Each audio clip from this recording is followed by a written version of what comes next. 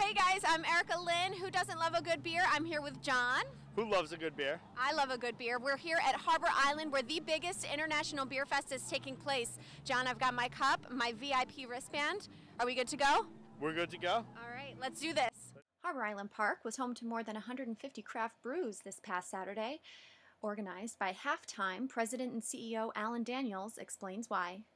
And most people don't travel Hoyt Avenue, so they don't really know that we are uh, a retailer in town. So we said, what better way to let people know that we exist? Let's have a big beer festival and tell people that we are 3,696 feet away from the festival. This first annual International Beer Fest covered everything from IPAs, ciders, and of course, the trending fall brews. What's your name? John. Hi, John. Can I have some River Horse Pumpkin beer? Where are you guys from? Uh, we're out of Ewing, New Jersey right now. I was lucky enough to have two lieutenants in the United States Army volunteer as my tour guides.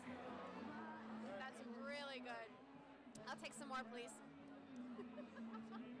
Making new friends left and right, Russell tells me about his experience. I'm, I'm actually really enjoying the assortment of breweries here. Uh, I didn't learn about this until yesterday, but I'm very happy that my friend told me about it. And I'm very happy to meet you. and clearly, I'm enjoying the beers. Clearly. Have you eaten anything, or is there any food? Uh, I did. He directs me to the Uh, nearest salt covered, mustard dipping soft pretzel. Don't feel like buying one? You can always make your own. Belly full of beer and bread, it was off for a little game of cornhole.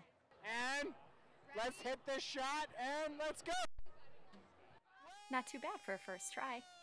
That was good. Yes, fun and games, however, safety was key.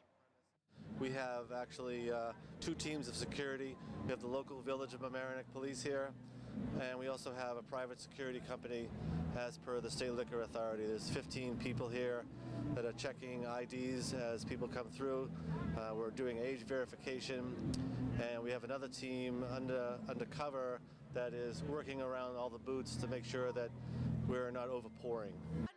Although few and far between, I managed to find another female. Cheers to the women at the beer fest. There's, of course, plenty of water for the ride home. Erika Lynn for the local live.